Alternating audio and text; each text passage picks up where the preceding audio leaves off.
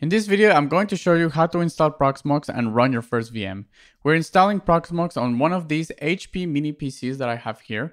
It has a Core i5 6 core, it has 16 gigs of RAM, and it has a 500 gig NVMe SSD. These are great for home lab because of their small form factor and they're very power efficient. So let's jump right into it. Okay, so the first thing that I did is I created a bootable USB key. I'm pretty sure you already know how to do this. It's very simple. And I booted into the Proxmox installation. So let's start the installation. Uh, we're going to do the graphical installation. It's going to be easier.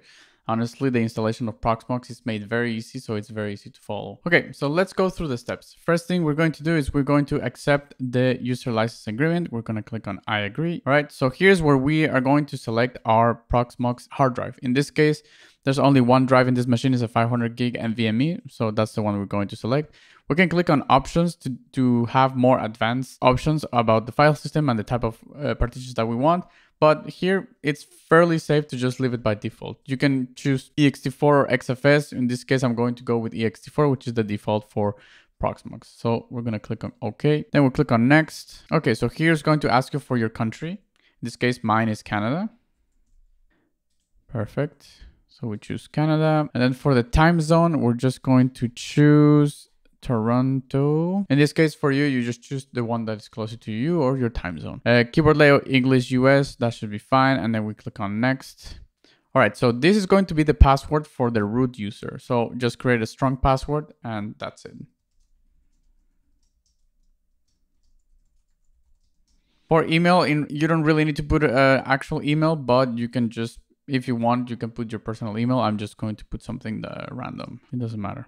Okay, so now we click on next. Okay, so this is going to be the fully qualified domain of uh, domain name of your Proxmox environment. So here we need to put an actual FQDN. So I'm going to name this PVE01 and we can just put dot, it can literally be anything. This is going to be your network configuration. So this has to be the subnet that you use at home. In my case is 192.168.0 uh, but it depends on you. It could be dot one, or if you have something custom at home, this is where you need to put your uh, subnet.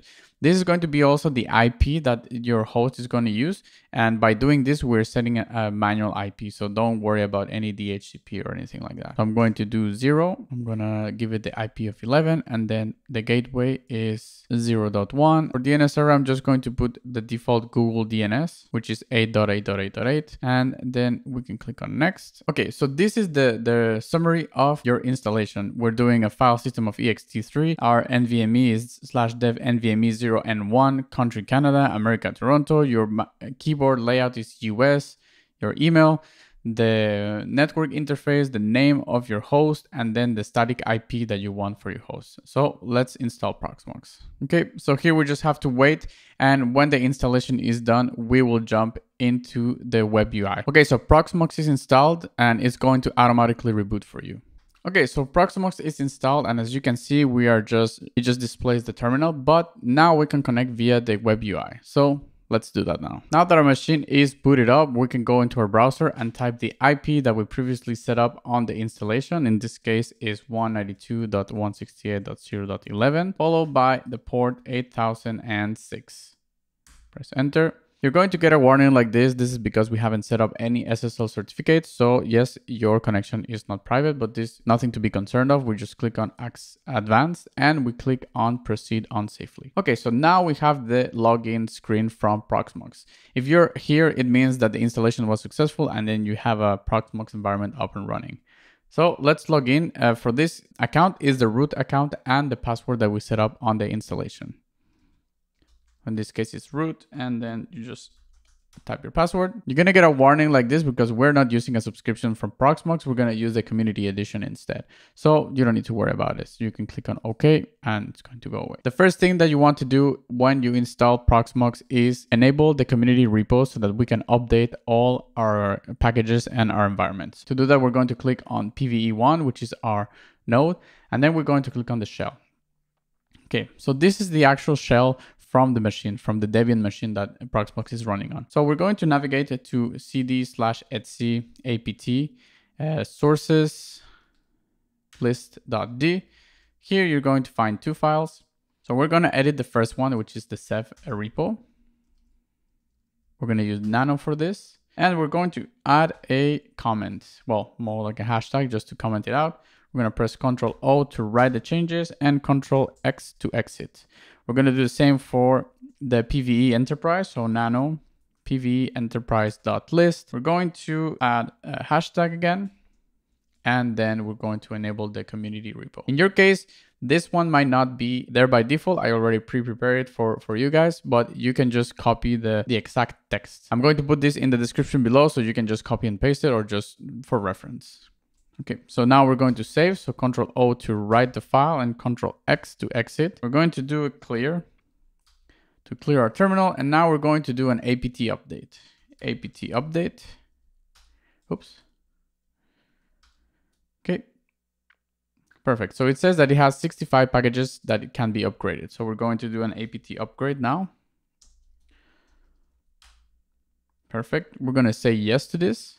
And this is going to install the latest Debian security patches, the latest Debian packages, and it's also going to install all the latest packages from Proxmox. So we just need to wait for this to finish. After this, we're going to reboot our server and then we're going to proceed with the creation of your first VM. Okay, so the installation, the update is done. Now we're just going to reboot the node.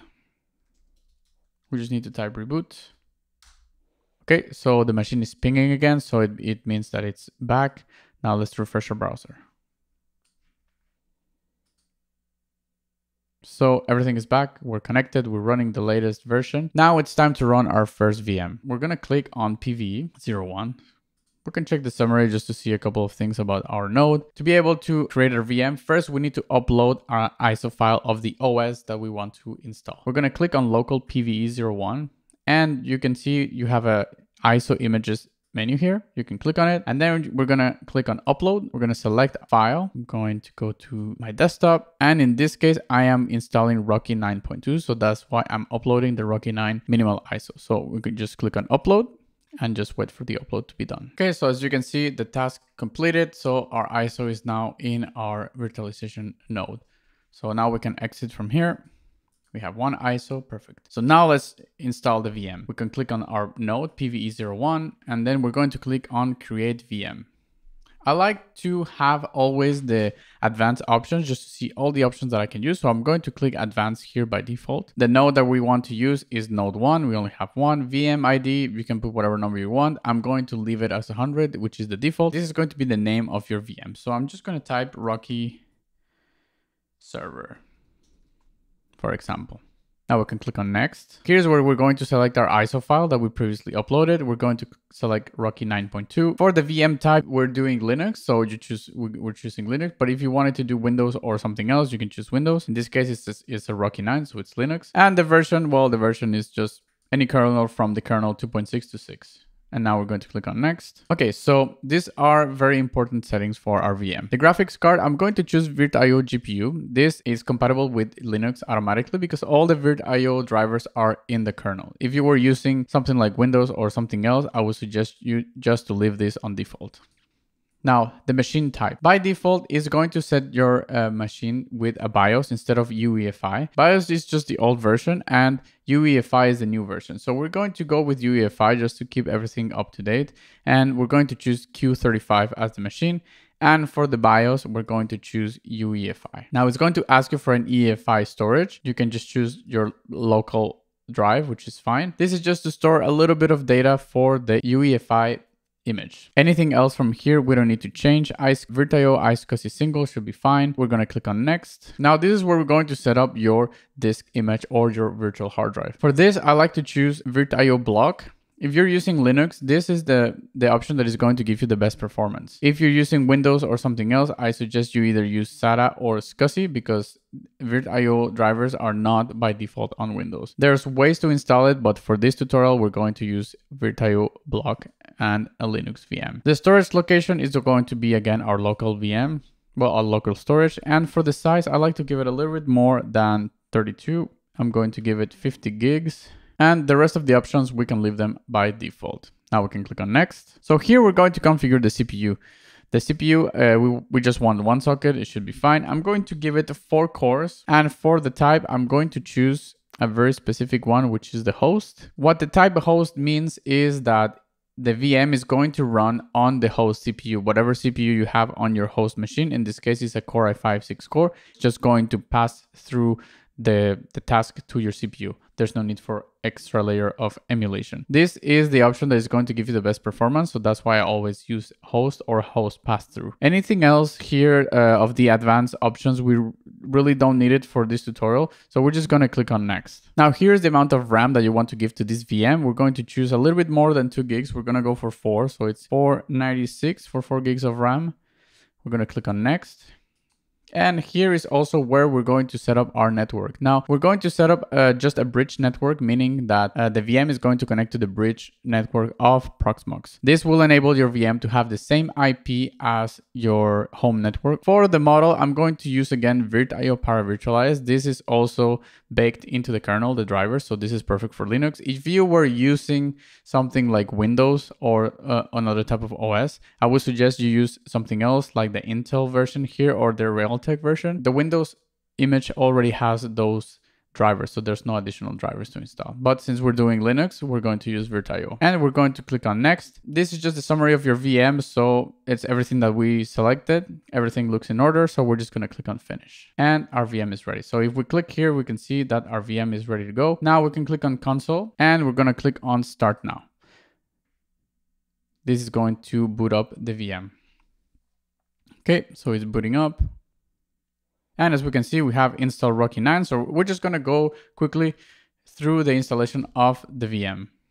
So we just press install Rocky 9. Okay, so as you can see, we are in the Rocky 9 installation. So we're just going to go really quickly through it. English, continue. I'm pretty sure you already know how to install Linux, so it shouldn't be too hard for you. Uh, we're going to choose our root